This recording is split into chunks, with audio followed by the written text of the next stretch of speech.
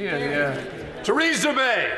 Thank you. Uh, thank you, Mr Speaker. I do not intend to dwell on the events covered in the report of the Committee of Privileges or its conclusions. It is a rigorous report and I accept its findings. I do want to comment on the role of the committee, the role of this House and the importance of today's debate and vote for our political life, this Parliament and our democracy.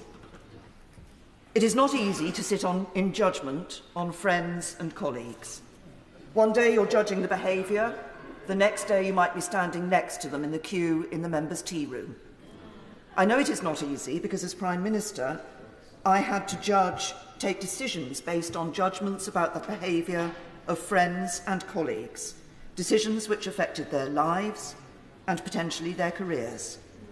But friendship, working together, should not get in the way of doing what is right.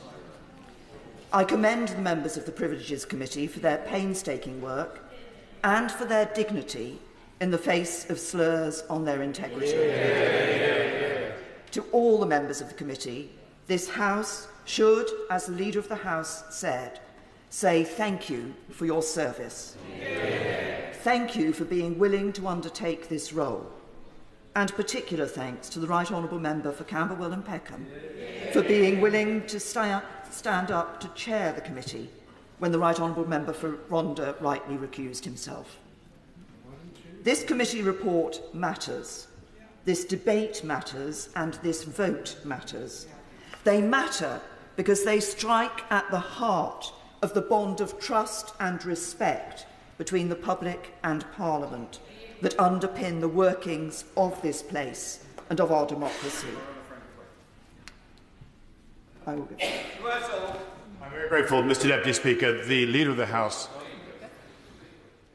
the Leader of the House spoke about representing Portsmouth. I returned from Portsmouth today early from a Defence Committee meeting to be here to vote in support of this uh, report.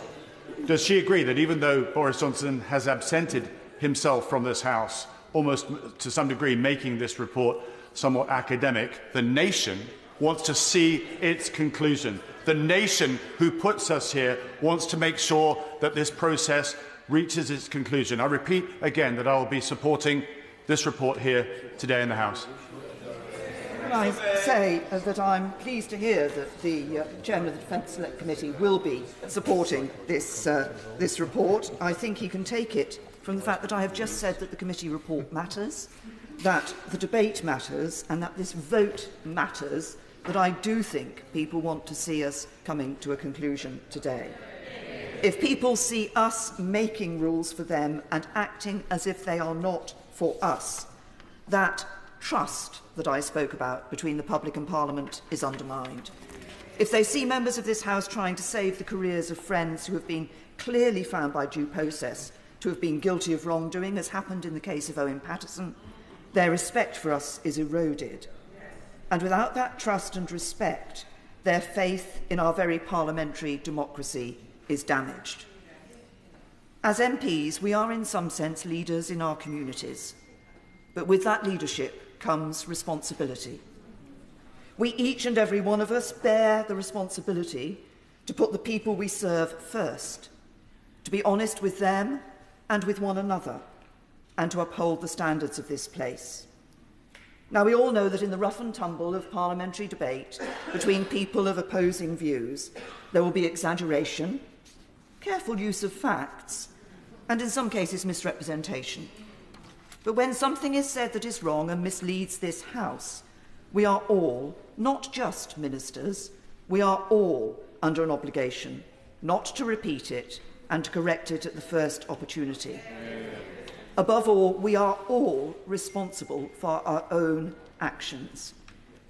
Beyond that, this House has a responsibility to ensure standards are upheld by showing that we are willing to act against the interests of colleagues – when the facts require it. And in this case, I believe they do. The decision of the House on this report is important. It is important to show the public that there is not one rule for them and another for us. Indeed, I believe we have a greater responsibility than most to uphold the rules and to set an example. The decision also matters to show that Parliament is capable of dealing with members who transgress the rules of this House if you like, to show the sovereignty of Parliament. and following an unsettling period in our political life, support for the report of the Privileges Committee will be a small but important step in restoring people's trust in members of this House and of Parliament. And I also say to members of my own party that it is doubly important for us to show that we are prepared to act when one of our own however senior, is found wanting. I will vote in favour of the report of the Privileges Committee. I urge all members of this House to do so, to uphold standards in public life, to show that we all recognise the responsibility we have to the people we serve, and to help to restore faith in our parliamentary democracy. Yeah. Chair of the committee,